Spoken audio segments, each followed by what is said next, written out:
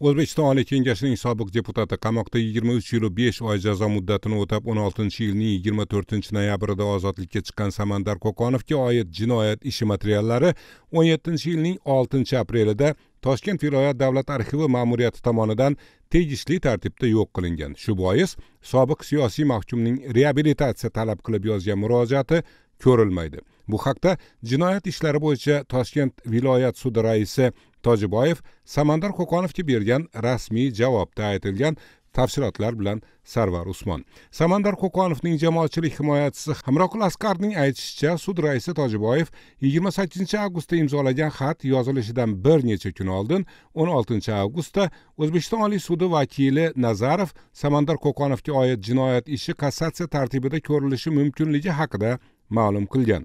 Demak o'sha kunlari bundan bir yildan ko'proq muddat oldin ya'ni o'n yettinchi yilning oltinchi aprelida yo'q qilingan jinoyat ishi mavjud edi dedi hamroqul asqar samandar qo'qonovning jinoyat ishi o'n yettinchi yil oltinchi aprelda yo'q qilingani joriy yil may oyida ham ma'lum bo'lmagani ma'lum bo'lmoqda.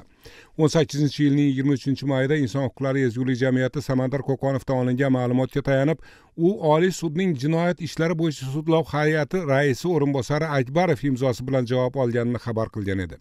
Javobda qo'qonovning yozgan kassatsiya shikoyati jinoyat ishlari bo'yicha toshkent viloyat sudining kassatsiya sudlov hay'atida ko'rilajagi aytilgan. Hamroqul asqarning aytishicha o'shanda ya'ni joriy yil may oyida oliy sudning jinoyat ishlari bo'yicha sudlov hay'ati raisi o'rinbosari akbarovdan olingan javobdan keyin samandar qo'qonovni toshkent viloyat sudiga chaqiradilar. E, bizga tegishli qismini hammasini o'rganib chiqdik sizni harakatingizda jinoyat tarkibi yo'q ekan degan. Va e, yaqinda biz sudlov hay'atini xulosasini beramiz degan. Shundan keyin xursand bo'lib keldi. E, toshkent viloyat sudi shunaqa deb aytdi degandan keyin. Dedi hamroqul askar. Samandar qo'qonovning jinoyat ishi materiallari nima uchun qaysi qonunga asosan yo'q qilindi? Jinoyat ishlari bo'yicha toshkent viloyat sudi raisi tajiboyev samandar qo'qonovga bergan rasmiy javobda uning jinoyat ishi hujjatlari amaldagi me'yoriy hujjatlar asosida yo'q qilingani aytilgan lekin xatni imzolagan rasmiy aynan qaysi hujjatlarga asoslanilganini ochiq yozmagan. O'zi umuman jinoyat ishlari necha yil saqlanishi lozim. Bu savolga javoban mamlakat darajasidagi yuqori lavozimli huquq tizimi amaldorlaridan biri tojiboyev imzolagan xat nusxasini ko'rgach muayyan muddatdan keyin uning toifasiga qarab jinoyat ishlari ham уничтожение bo'ladi. Siz aytgan ishlar o'ta og'ir jinoyatlar yuzasidan. Shuning uchun saqlanish muddati eng maksimal deb javob berdi. Lekin maksimal muddat necha yil ekanligini ochiqlamadi samandar qo'qonovga javob yozgan jinoyat ishlari bo'yicha toshkent viloyat sudidan uning ishini yo'q qilgani aytilayotgan toshkent viloyat davlat arxivi ma'muriyatidan ma'lumot olishning imkoni bo'lmadi.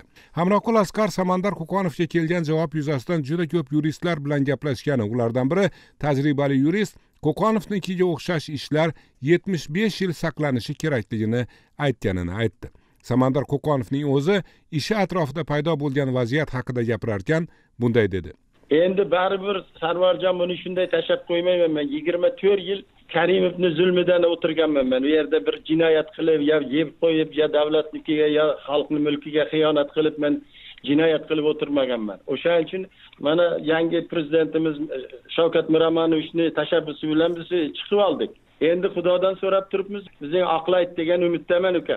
Dedi samandar qo'qonov samandar qo'qonov mustaqil o'zbekiston tarixida qamoqda eng uzoq yigirma uch yilu besh yil saqlangan siyosiy mahbusdir.